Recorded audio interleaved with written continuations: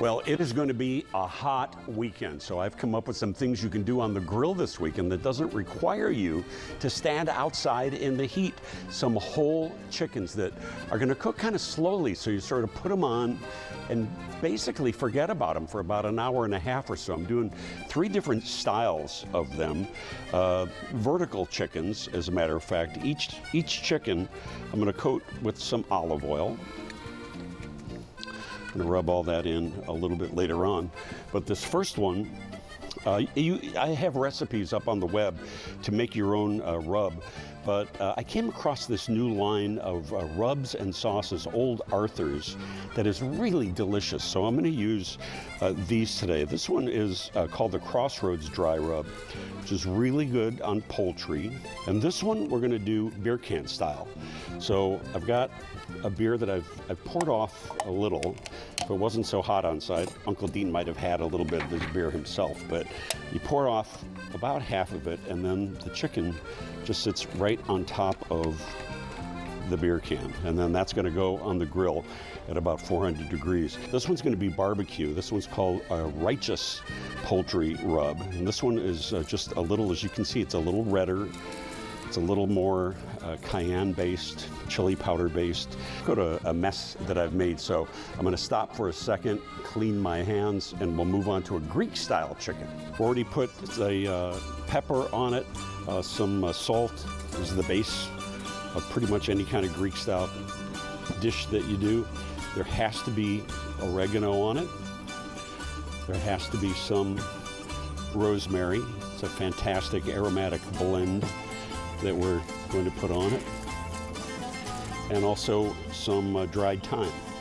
You've got fresh, put the fresh on, but you don't really need to. This is just going to get completely massaged into both sides of the chicken, onto which we're also going to put some chopped garlic as well.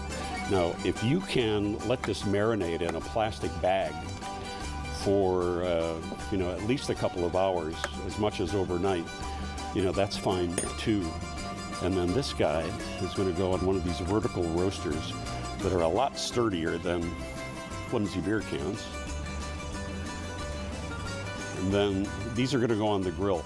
About an hour, an hour and a half, the internal temperature, when you take the temperature, you're going to put it into the meatiest, fattest side of the chicken. It should be about 100, 165 degrees.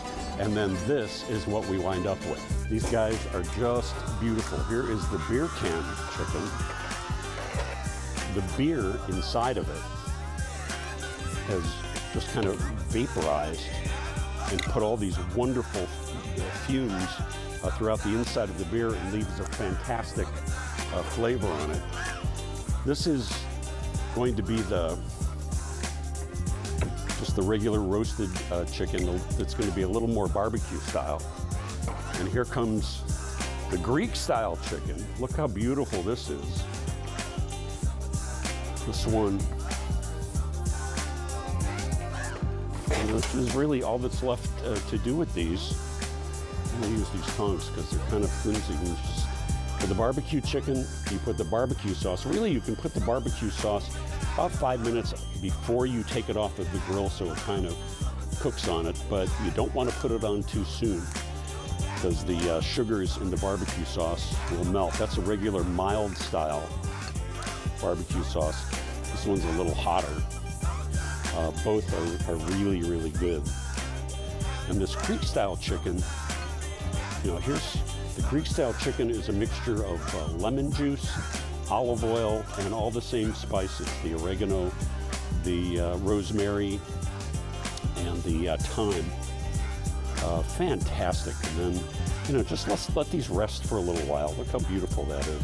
That's screaming opa at you right there. We've got all these recipes up at WGNTV.com slash Dean Cooks. Happy cooking this hot weekend. Send it back to you guys.